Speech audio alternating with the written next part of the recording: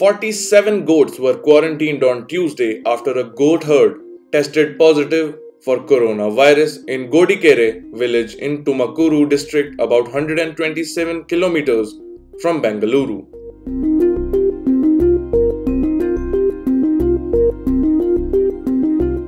Sources said the village in Chikkannayakanahalli Taluk has around 300 houses and a population of 1000. Two villagers, including the goat herd, tested positive recently. Following this, four goats of the goat rearer died, causing alarm in the village.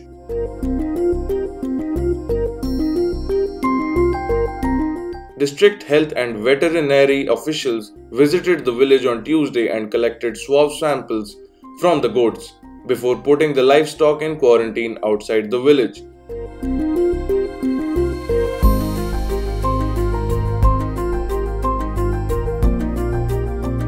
The team faced huge resistance from the villagers who suspected they had arrived to cull the goats.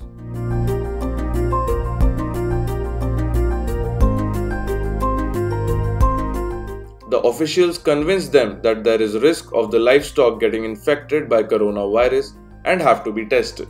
A TOI online report.